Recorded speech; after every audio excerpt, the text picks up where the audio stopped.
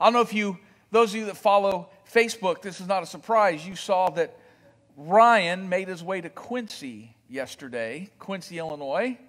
Um, should be just a short drive. It's just across Illinois a little bit. Shouldn't take too long.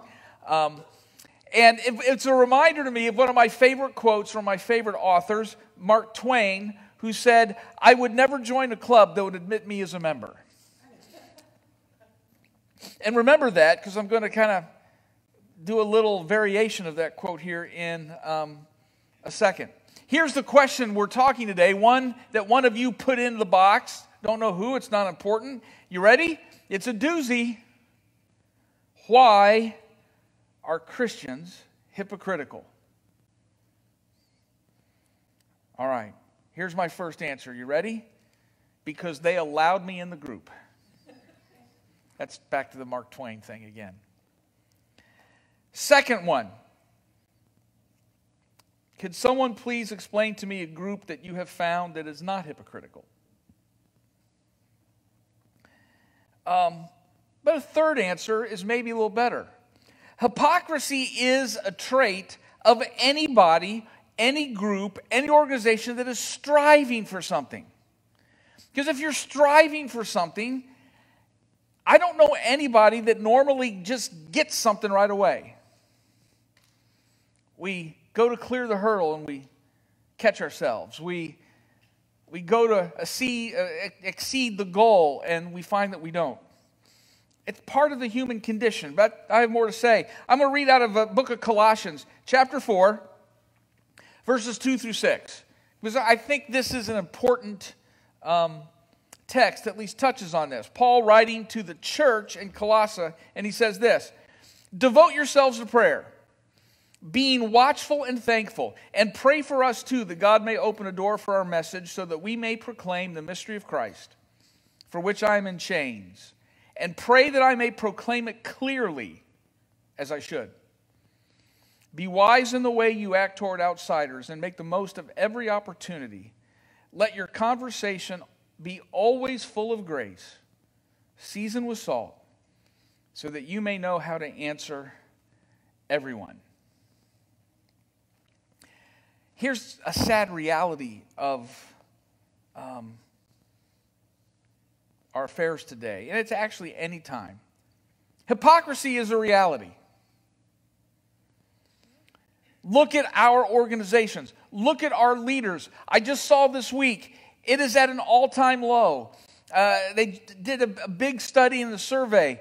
Our faith in institutions across the board has never been lower when you look, and one of the biggest reasons, in my opinion, is we have seen mass levels of hypocrisy, especially in the last few years. Saying one thing and doing another. That is something that impacts all of us. It is a reality. Here's a definition of, uh, hip- of uh, hypocrisy claiming to have moral standards or any standard to which one's actions do not conform. Well, that's pretty basic. So let me give you what sometimes is labeled hypocrisy in our world. First one is this one name for hypocrisy is simply this a lack of perfection. There is a level when you are small, maybe we're a little child, and our parents are just, they are just huge to us. We fall down, we skin our knee, and someone scoops us up. When we're hungry, food appears on a plate. When our diaper's messy, someone cleans it up while singing to us. And then they put powder on and everything else. And then as we grow older, there's still these huge people in our world. And about the time it's amazingly how our moral world and our physical world tend to line up. About the time we start to get about as tall as we can look mom and dad in the eye, we start to see everything that's not, a that's not perfection. And we think, ah, hypocrites. And we go through that stage of life where we nitpick every shortcoming that we see in mom and dad. Some people are 50 and 60 and have never gotten out of that stage of life. And then often, maybe you get a little later in life. Maybe we get wise earlier. We get to be 21. Maybe it doesn't happen until we're 28, or maybe it doesn't happen when we get kids of our own. And all of a sudden, we stop and think, wow, mom and dad are smarter than I thought they were. Or we think, I don't know what happened to them. Those two people were dumb as a post three years ago. They've really gotten smarter in the last three years.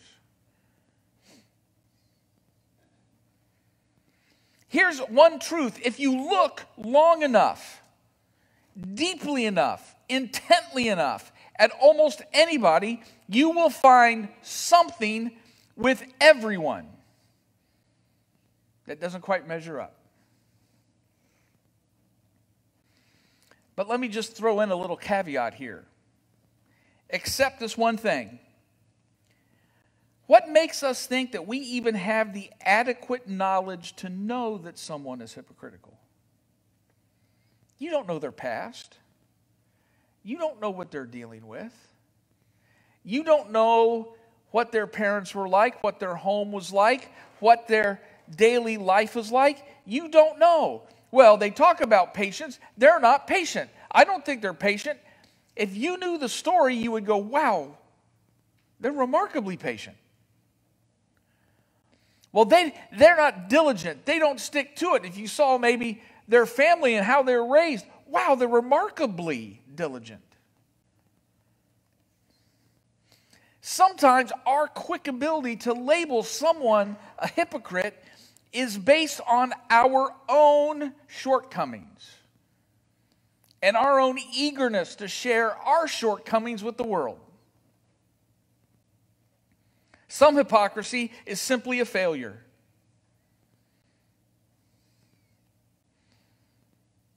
Maybe I say, I'm going to lose 10 pounds this summer. Are you going to join me in losing 10 pounds? We're going to do it together.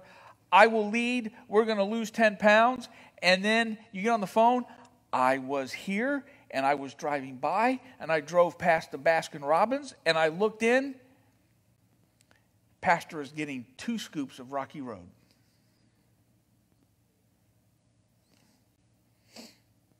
Maybe it's just a failure. Might not be even a moral issue, just something, you know, that happens. This happens to everyone.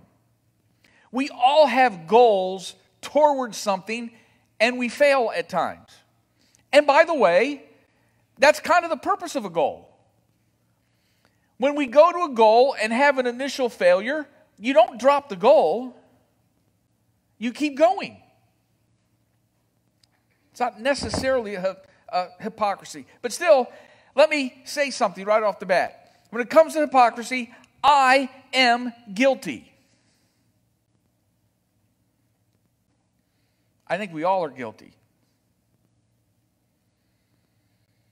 somebody will see something and be able to point something out. Of that, I am absolutely certain. I will also admit, of all the character traits that drive me the most nuts, or the thing that I hate the worst when I see it out there, is hypocrisy. Which is why the last three, four years have been very difficult for me to navigate I have successfully not thrown a brick through my television now for the last two and a half years. And it's been a constant temptation every night. Don't need to go into detail, but it's been out there for everyone to see. Is hypocrisy a sin? Are you ready for this great answer? I'm going to thunder from on high. Here you go. Maybe. Maybe. In Romans chapter 5, Paul is writing, and Paul has these interesting words to say that I don't think most people ever really interact with or think a lot about. In Romans 5, Paul says, Listen, we know that sin is in the world because death is in the world. Um, oh, wrong chapter. See, before the law was given, sin was in the world, but sin is not, I'm going to do my own paraphrase. Sin is not charged to your account in the absence of the law. Nevertheless, death reigned from the time of Adam to the time of Moses, even over those who did not sin by breaking a command, as did Adam, who is a pattern of the one to come. Um, but the gift is not like the trespass. If the many died by the trespass of the one, how much more did God's grace and the gift that came by the grace of the one man, Jesus Christ, overflow to the many? Let me just, the first part of that, explain a little bit more. Paul is writing, look, we all know that we live in a kind of a morally compromised world. We know this because look at all the decay and the degradation and the death that goes around it. But it's, it's not charged to your account unless you know it going into it and do it anyway. You have to know. Think about that. Here's the example that everybody in here has seen. It could be with your own kids. It could be if you've watched a nephew or niece or babysat someone. They're about two years old or 18 months old or something, and they're in your house and they pick up some little knickknack and you thought that everything was picked up and there's one knickknack left. They found the shelf and they picked it up and they go, oh, cool, toss.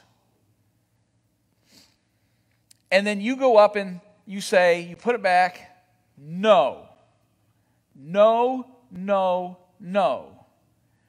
And you've seen it. The two year old looks at you and you see the thought. Oh, we'll see about that, won't we?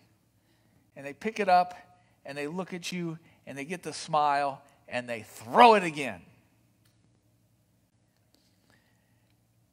First one, when we do it, we do things by omission. We do things out of carelessness. We do things because we're frail. Paul says, wait a minute, that's not knowingly going against the will of God. That's not charged your account. When you know it and do it anyway.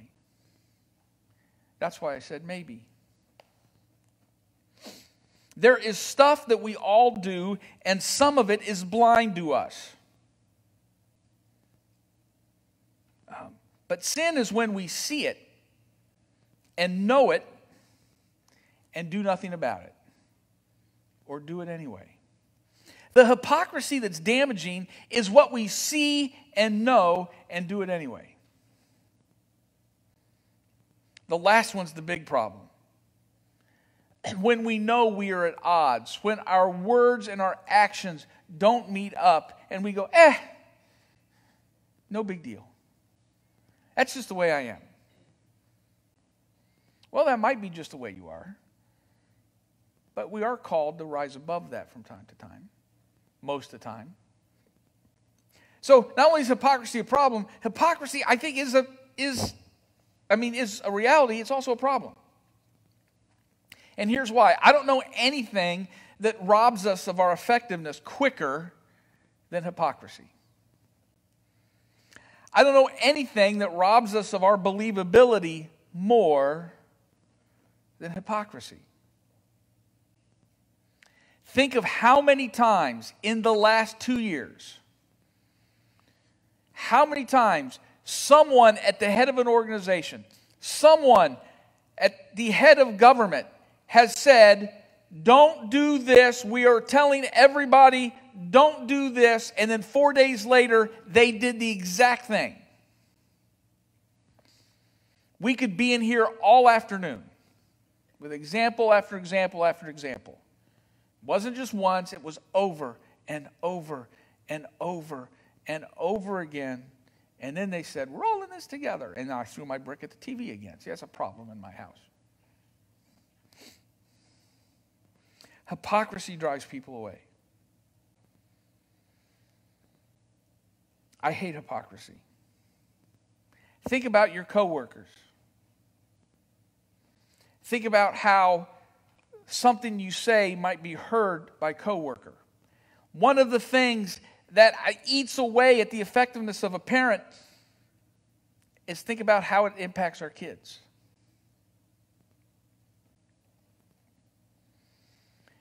There is two kinds of parenting. There's always kind of been two kinds of parenting.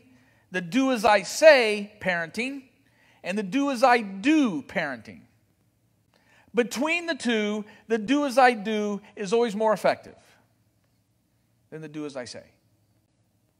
Especially when what the parent does and what the parent says are two different things. I think, um, um, I forget who said it, something on the order. Um, um, I, I will know your faith by what you do, or what you do is much louder than what you say. And I think both of those statements are absolutely true. And as Christians, we will be targets. It's always good to have our, our words and our actions match as much as possible. Remembering that all of us are blind to some things. Now, we're not as blind as we were 20 years ago. I'm hopefully not as blind as I was when I was 20 or 25 or 30. So, what should we do? In our world where hypocrisy kind of is a thing that people are looking for and that robs us of effectiveness, first thing, I think we should admit that all of us are susceptible. And all of us have probably parts in life where we need to be careful.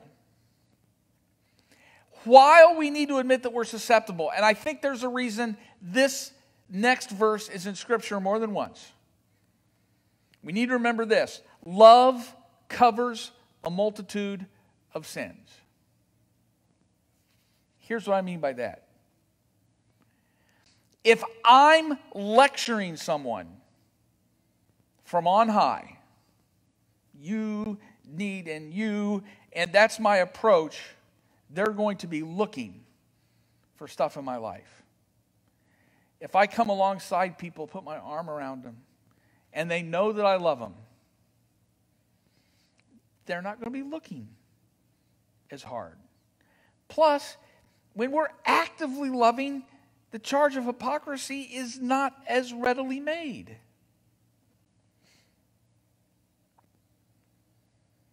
But when we have any high standard, high hurdle, we are inviting close look, a close look at us, our words, our actions, and the things that we do.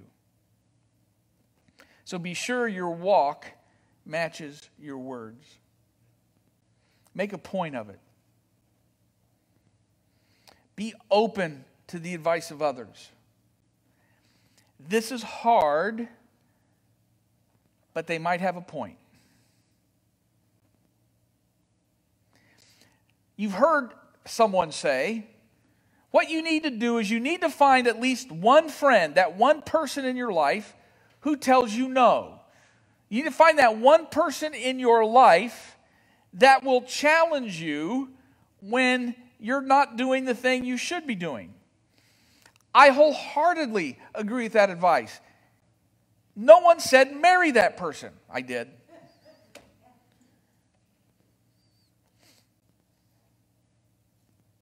We need to be open to the advice of others. It's hard. And listen, they might have a point to make, and you might be better by listening to that. We also need to live in such a way as to always be open to God's voice in our life. Stay sensitive and open. And by the way, let me simply make a statement. It's amazing to me how often God's voice has sounded like the voice of people in my life grandparents, parents, spouses, and I've mentioned this before. We get older and we have children. And there's normally something about our kids. There's this one part in our kids' life, it's this one part of their personality that we really don't like. It's that part of their life that they share most closely with us. And it drives us crazy. We would do well to notice that and use what we see as a way of examining ourselves. Um, Hypocrisy is also the inevitable result of one whose faith is a part of their life.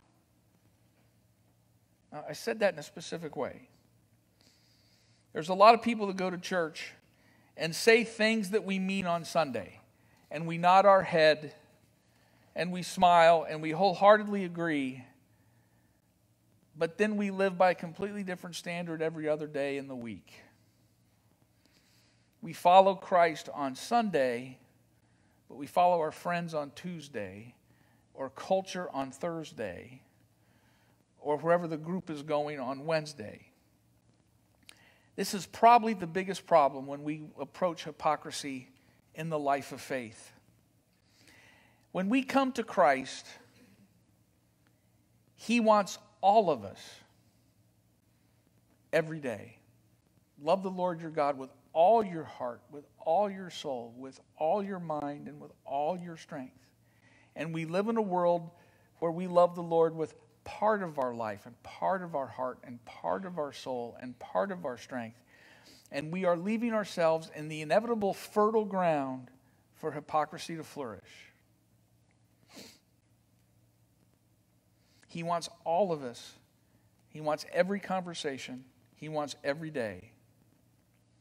See, one of the prime traits of the holy life and a holy walk is a certain sensitivity toward faults and shortcomings and a willingness to ask forgiveness from God and sometimes from others. There's parts of our life, and if we kind of grow a little hard or crusty toward those things, I don't like to hear it. Don't talk to me about the things I, I don't really want to do, I, that I don't do right. I don't want to hear about it right now. And pretty soon we kind of build up a little scab over it. And nothing ever gets to it.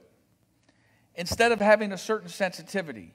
I think the holy walk is not someone that never does anything wrong, but someone who's extraordinarily sensitive on all the times they discover that they've done something maybe a little not healthy, not holy, and not righteous.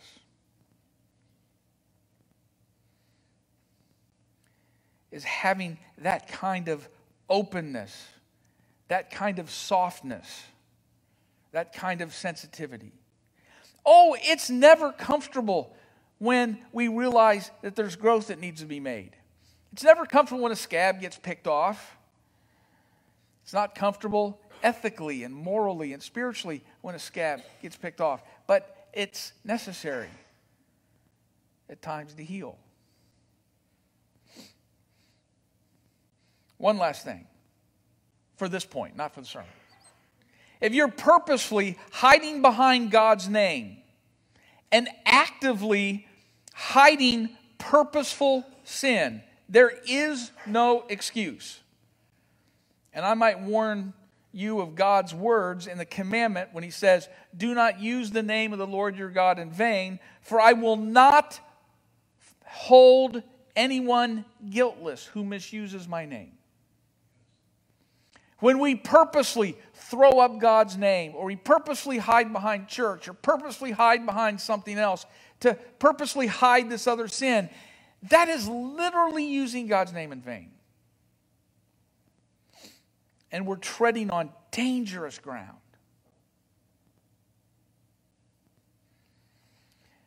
So, yes, hypocrisy is there. Sometimes it's a part, but us not being fully, wholly, committed, wholly given over to Christ, is a means of introducing hypocrisy into our lives.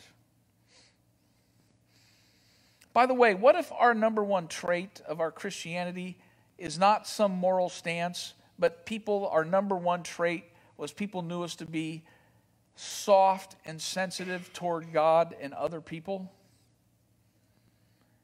Boy, that would really dampen hypocrisy in our life. One last thing about hypocrisy. And my question is why, why are sometimes, even those of us who are Christians, why are we looking so hard to find a fault in the life of somebody else? Because A, you will find what you're looking for every time. You'll find it. Look, look long enough. Um, let me ask another question. Now that you've found that person's weakness, have you looked equally long and hard for that person's strength?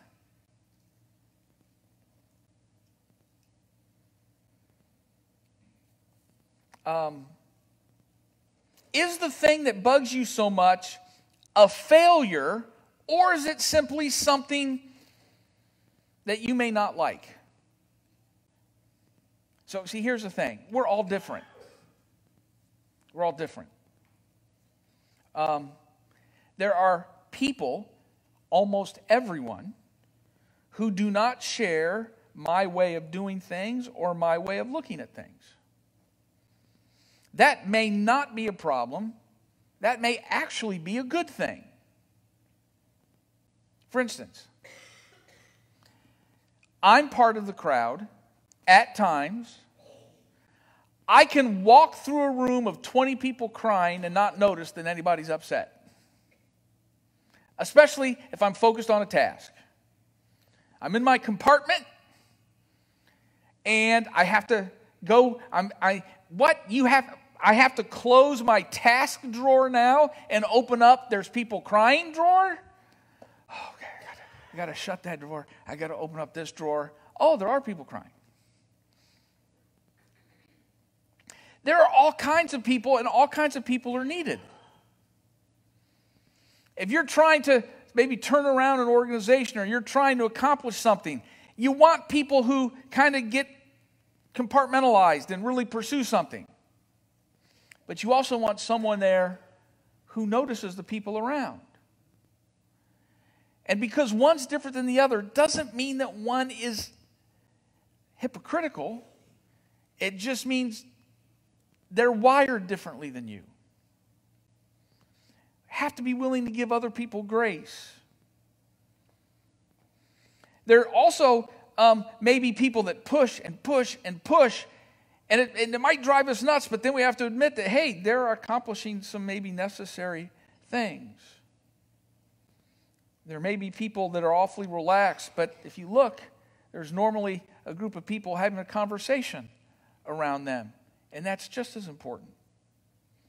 Their incompatibility is not really a hypocrisy. Maturity plays a role here. Maturity sees different people with different roles at different times and appreciates them for their differences.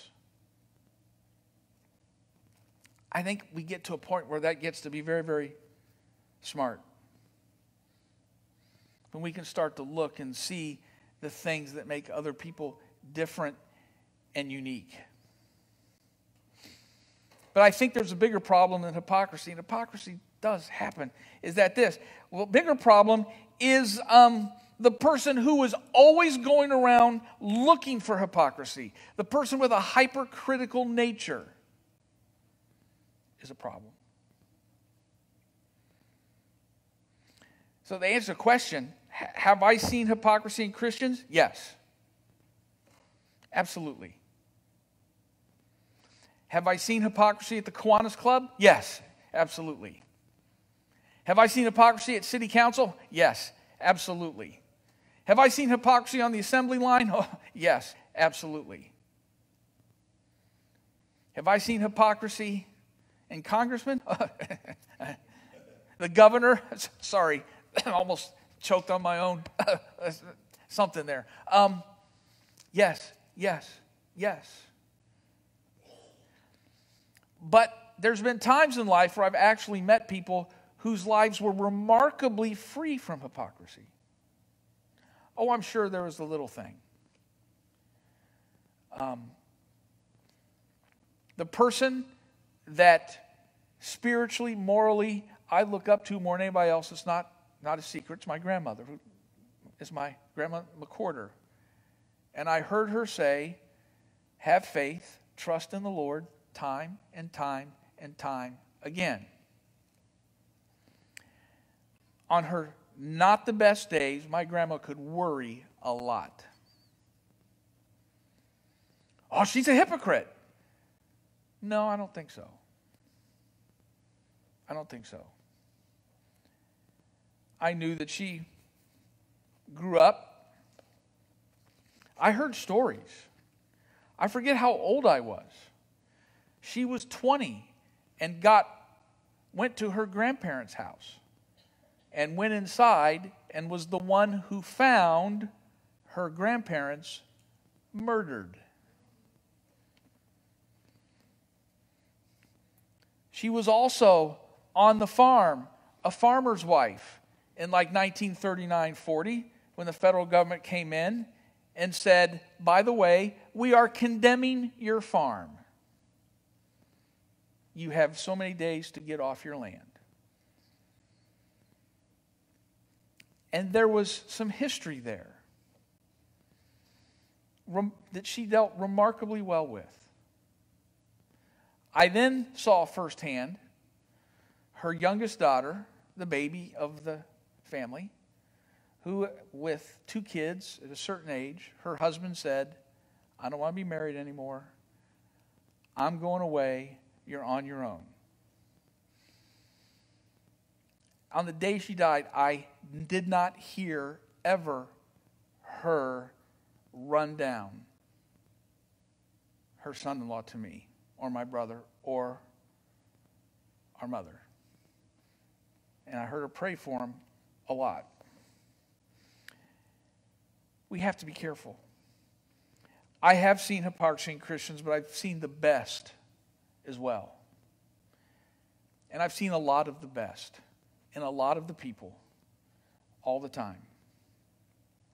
Um, I've seen love when none was deserved. I've seen grace extended when one might expect anger. I've seen sacrificial giving. I've seen committed service.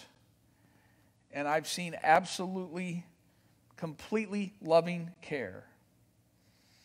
I got to a point in my life, I want to see the best. I want to see what the Lord is doing. If I'm looking for the weak spot, I will never see either of those two things. When I was young, I could easily dismiss someone when I saw a supposed failure. And the reality hit me this week I'm not young. My son called me up about a week and he said, Dad, can you meet me Friday morning at 6 a.m.? We're going to play around of golf together. Sure, I'll meet you there. Made arrangements. Friday morning, I stepped in. It was actually like 6:15, and I walked in at 6:15, and I went to the desk, and I said, "We have a tee time. Ward, how much do I owe you?" And he looked at me and said, "How old are you? Do you qualify for senior rates?" First time in my life, I was asked if I'm qualifying for senior rates. I got home that evening. Michelle and I were taking a walk. She said, How was your day? And I said, Something happened to me for the first time today.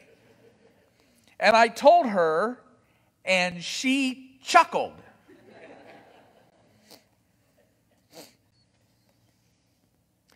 Used to be I could dismiss someone when I saw a supposed failure. I hope, I hope that I've learned to extend grace.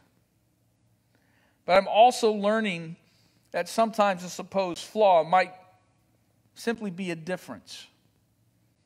And God is using them just like He wants to use me. I've met some other people in life who like to give with a flourish. And it's a very emotional kind of giving, which is a fantastic way to give. And I've known some other folks in my life who give and no one knows. No one knows. And if I told you who it was, they'd get mad. Because there's different kinds of people who do things in different kind of ways. And just because someone looks to be a little different or more gruff or more something than you do doesn't mean that they're not giving. But all in all, what I'm really learning is that my words and deeds need to match. And the, my walk and my talk need to be the same. And the best way to accomplish that, the only way to accomplish that, is if God has all of me and not just a part, not just the Sunday me, not just the 25% religious me, but all of me.